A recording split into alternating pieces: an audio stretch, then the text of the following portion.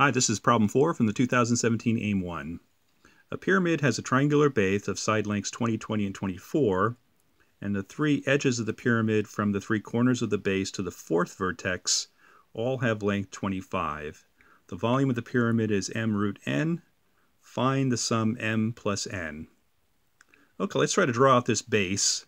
Looks like this base is a triangle looks something like that. Side 20, 20, 24. And it looks like the fourth vertex lies above this base and all the edges are of length 25. So let me just draw that a little off center so I can get a little perspective on this. So all these dotted line edges that rise to the vertex above the plane are of length 25. Great. Now it looks like the base is a nice friendly isosceles triangle, so let's uh, cut that into two pieces. This is length 12, this is length 12. This looks like a 5, 3, 4 right triangle, so this length 16. So the area base is pretty easy to calculate. The area of the base is just 12 times 16. So it looks like we just have to try to figure out the height of this fourth vertex above the plane of the base triangle, and then we'll be able to calculate the volume of this pretty quickly. So let's see how we can do that. So it looks like the cross section that runs down through this line and perpendicular to the base triangle is the cross section that we want to focus on.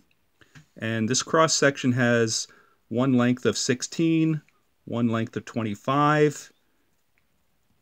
We can do a little Pythagoras here to find that this length is root 481. So let's draw that out by itself. So this cross-section triangle now looks something like this. This is the length 25, this is the length root 481.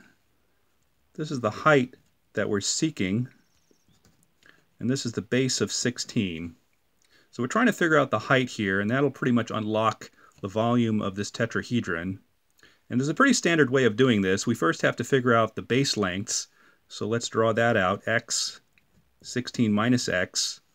And we can use Pythagoras to find that the square of this length minus the square of this length has to equal the square of this length minus the square of this length. So let's draw that out. 481 minus x squared, 625 minus x squared. Let's expand that.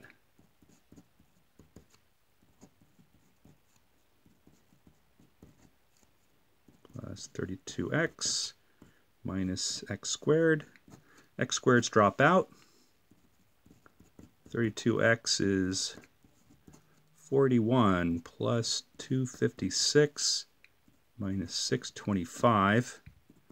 That's 112.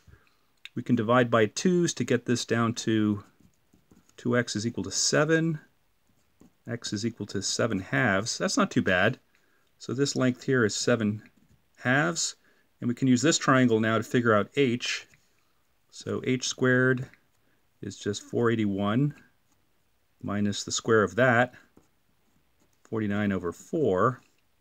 So 4h squared is 1924 minus 49, 1875. That looks pretty convenient. So there's a factor of 25 in here. In fact, there are two factors of 25. So that's 25 squared times 3, from which h is equal to 25 root 3 divided by 2. And now that we know h, we can calculate the volume of this tetrahedron. It's uh, one third the base area. The base area is 12 times 16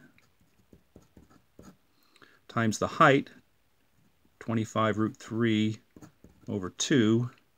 2 factors into the 16, 3 factors into the 12.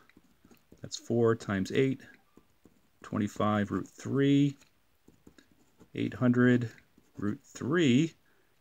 Sum 800 plus 3 is 803. Final answer. Hope that helps, and we'll see you at the next video. Take care. Bye-bye.